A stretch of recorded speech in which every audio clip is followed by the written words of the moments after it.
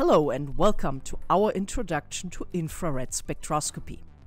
IR spectroscopy is the measurement of the interaction of infrared radiation with matter by absorption, emission, or reflection.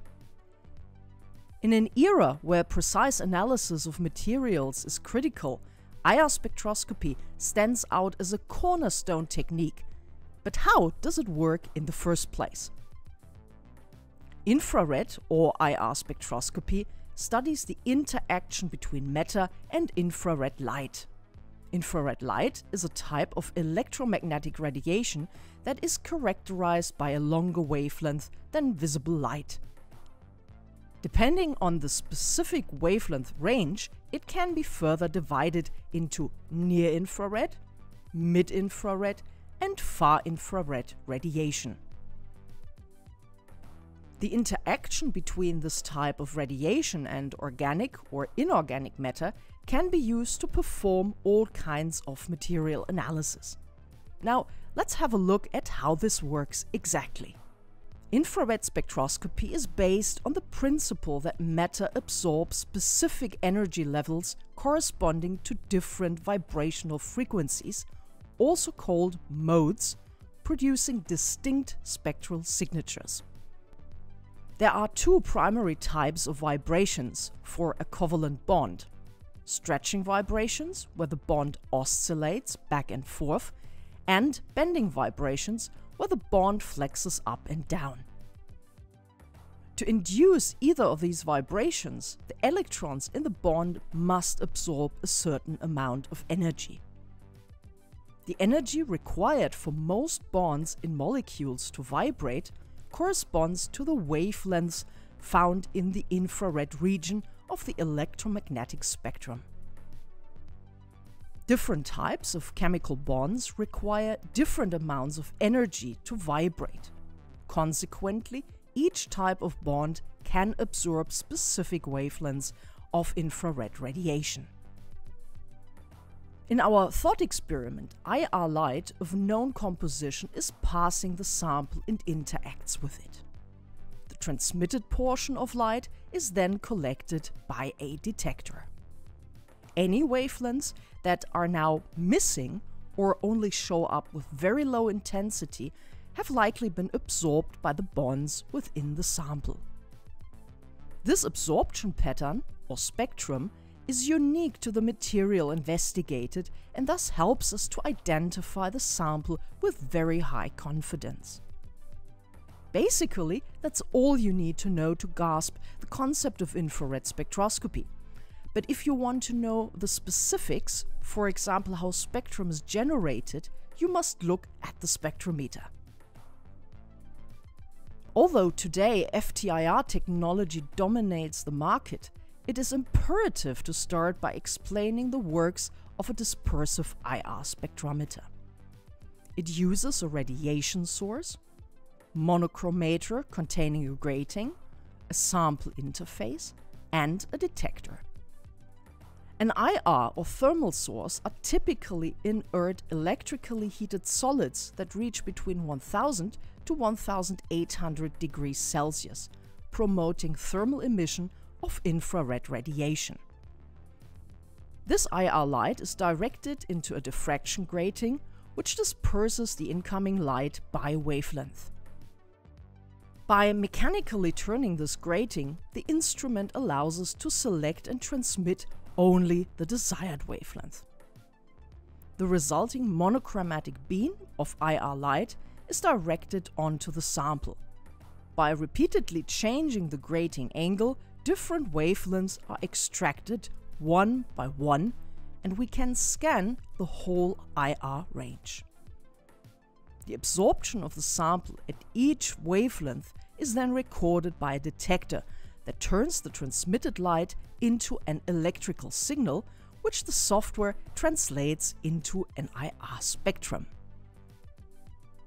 While traditional IR spectrometers are able to isolate specific wavelengths for analysis, they are inefficient and slow due to the need to scan each wavelength individually.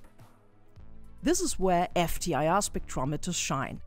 By utilizing an interferometer, they capture all wavelengths simultaneously along with a better signal to noise ratios and superior wave number accuracy. Let's try to understand this exciting technology by keeping it simple at first. This is a so-called Michelson interferometer. Here, the IR beam enters the interferometer and is directed at a beam splitter, which splits the beam into two separate beams. One of these beams is directed at a fixed mirror, the other at a movable mirror. When the light travels back and is recombined, this causes interference. This recombined beam is then directed at the sample, passes it, and is detected. The interference is the secret behind acquiring all IR information simultaneously. Now, to understand this better, we have to have a look at how light behaves. Light travels in waves with peaks and troughs. Where these peaks and troughs occur in space is called the phase of the wave. Two waves may have different phases, which is called the phase difference. This difference dictates how they interact, which is called interference. If the peaks and troughs of the two interacting waves match up, the waves are said to be in phase and the resulting interference is called constructive interference. If the peaks of one wave match up with the troughs of the other waves, the waves are out of phase and the result is destructive interference instead. Waves that are not completely in phase or out of phase can also interact in a way that depends on the phase difference between the two waves. Specific way the waves interfere is called an interference pattern. Let us now observe this process as it happens inside the interferometer. Note that the movable mirror is not moving right now. An IR light wave enters and is split in two by the beam splitter. Both waves are reflected by the mirrors and recombined. As both waves travel the same distance, they recombine in phase, producing constructive interference. But watch what happens when we start moving the mirror. The path length for one wave changes, creating phase difference. Now, destructive interference occurs and an interference pattern emerges. This can be recorded as a so-called interferogram that tells us the intensity of all IR radiation based on the mirror position. If we would introduce a sample into that beam, the interferogram would immediately change according to the sample's unique absorption pattern. And since we use all IR light and exactly know the mirror position, we could exactly tell which IR wavelengths were absorbed in one single swoop. However, looking for changes in an interferogram would be quite tedious. This is where Fourier transform comes into play. This mathematical function extracts the individual IR wavelengths from the interferogram, transforming the complex interference data into a clear IR spectrum.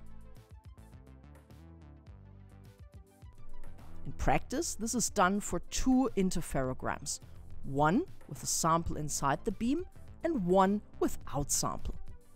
The latter provides the so-called background or reference measurement that helps eliminate environmental effects like carbon dioxide or water vapor.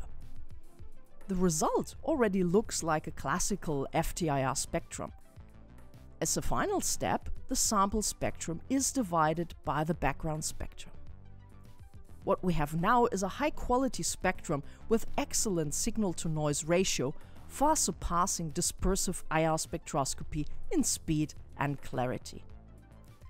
Despite the sophisticated technology inside an FTIR spectrometer, the technique itself is basically a push button method, making it an easy to use choice for many chemical analysis applications.